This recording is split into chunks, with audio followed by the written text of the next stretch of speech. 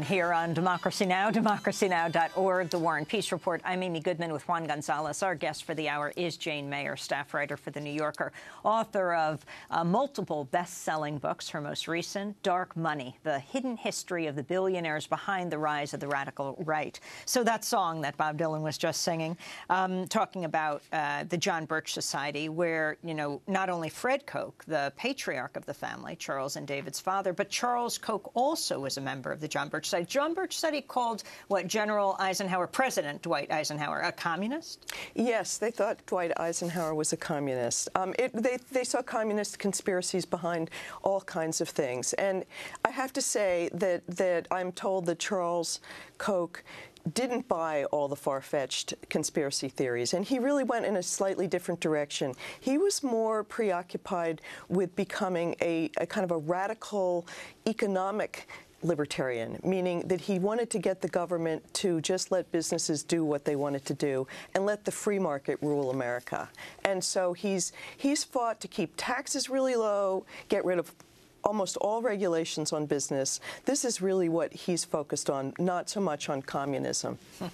You also describe uh, in the book how some of the gatherings of this caucus of the, of the billionaires uh, has also at, at times uh, made it uncomfortable for the established Republican figures like Senator John Cornyn at one point, and uh, and uh, talk about the uh, their ability to uh, empower the radical right among, in Congress?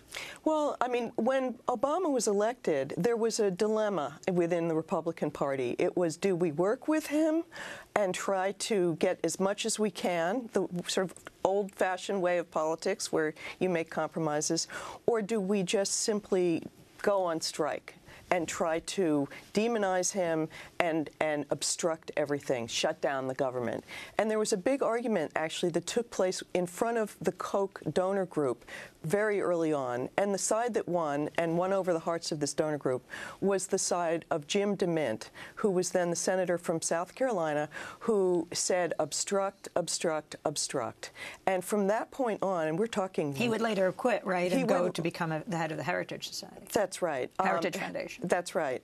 But at that point, it was a choice, and this group put its money into Stop Obama Any way you can. And so part of also what I try to tell the story of here, and you have to kind of follow the money through the chapters, but is that it's it's not just an election force. It's it's th this club has become a force of obstruction against governing, so that when Obama proposes the health care plan, this group funnels money to many, many different front groups that then uh, unseen to the American public pop up and oppose the health care plan and, and, and disrupt meetings. I don't know if people remember those town hall meetings during, the, the I think it was the summer of 2010, um, when there was just kind of pandemonium breaking out. And a, a lot of that were, there were actually sort of plans laid among this group to pour money in, get people all riled up, and make them think that that this was going to have death squads, things like that, that were that got people very upset. And the connection to the Tea Party? They put a lot of money into the Tea Party. The, I, I, started writing about them in, in, the summer of 2010, and at that point, uh, the spokesmen for the Kochs were saying they had nothing to do with the Tea Party. I then went down to a, a weekend meeting that the biggest Koch group was was holding, Americans for Prosperity, in Austin, Texas, and there they were giving seminars to Tea Party members on how to organize. So it, they, they really, and the, and the people I interviewed down there evidently hadn't gotten the sound bites because they were saying, are you kidding? The Tea Party? We've been into the Tea Party before it was cool.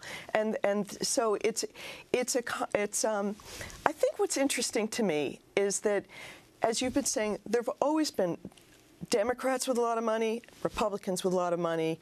The history of the country has been, you know, certainly big money players. What you've got here is almost like a third party that is the money party. It's a conservative outside pressure group that is acting as a, a force field pulling the Republican Party particularly to the to the right. With three and a half times as many employees as the Republican National Committee. And a larger budget um, by two times the budget that the Republican National Committee had in the 2012 presidential campaign. So you're talking about really a, a, a pretty professionally organized operation. Uh, there's a new new um, paper that I thought was really interesting by Theda Skocpol, who's a professor at Harvard. It came out just last week. It's called The Koch Effect, and it describes what's been built by them and their allied donors as akin to a national party.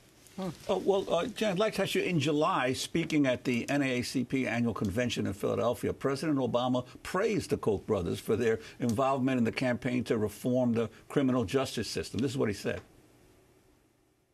Bringing people in both houses of Congress together. It's created some unlikely bed- bedfellows. You've got Van Jones and Newt Gingrich. You've got Americans for Tax Reform and the ACLU. You've got the NAACP and the Koch brothers.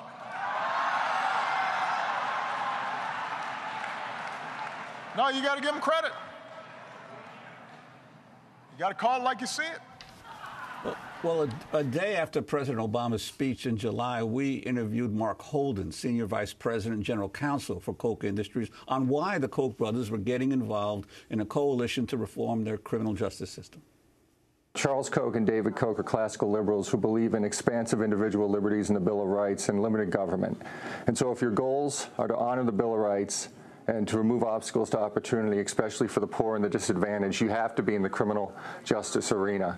And to answer your question, you know, as, as Van pointed out, what worked 20 or 30 years ago doesn't work today. And we have to have the intellectual honesty and courage and humility to correct that. In our businesses, we do that all the time when things aren't working.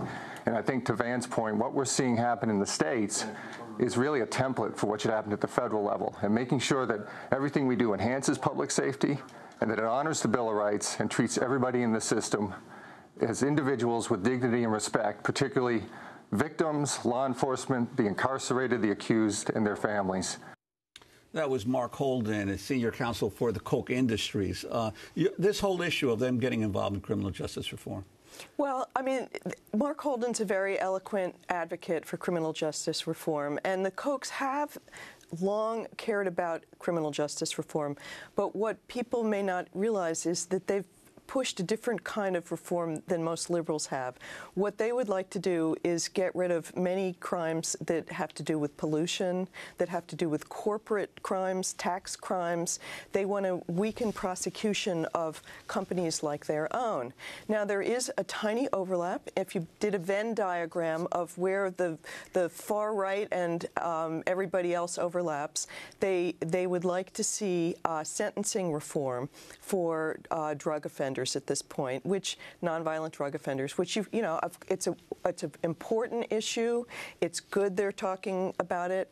It's not something they've cared about until 2014, and I have a new piece out in the New Yorker which notes that in 2014 they launched a huge public relations campaign to change their image. They're involved in in what David Axelrod described as one of the biggest rebranding efforts anybody's ever launched. And um, I see this as certainly part of it. And the reason I do is you'll see if you read this book, um, there are tapes. There are tapes that were leaked out from one of their meetings where they describe how they need to change their image. They after they did not win the presidency in 2012, despite the money they put behind Mitt Romney, they went back to the drawing board and they tried to figure out what they were doing wrong.